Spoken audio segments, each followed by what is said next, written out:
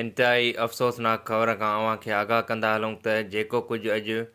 वाधू वाह हैदराबाद में थियो उन खे प्यारु न पर जुनूनियत पागलपणो ऐं इंसानियत खु़दगर्ज़ीअ जी इंतिहा चई सघिजे थो तमामु दर्दनाक ऐं अफ़सोसनाक वाक़ियो आहे त ॿ नौजवान भाउ भेण हिकु चहिरे माण्हूअ जी जुनूनियत जो शिकार थी विया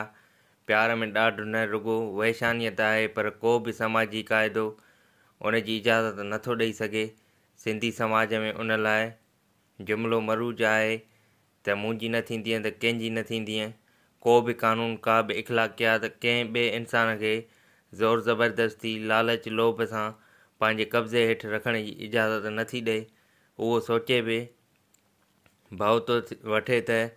हीअ निंगरी अहिड़ी जुनूनी माण्हूअ सां गुज़ारो कीअं करे हा हा अहिड़ा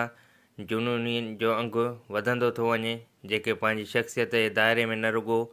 पाण क़ैद आहिनि पर ॿियनि आज़ादु इंसाननि खे बि मुक़ीद रखणु चाहिनि था इंतिहाई अफ़सोसनाक ऐं अंधोनाक ग़मनाक ऐं ख़तरनाक लाड़ो आहे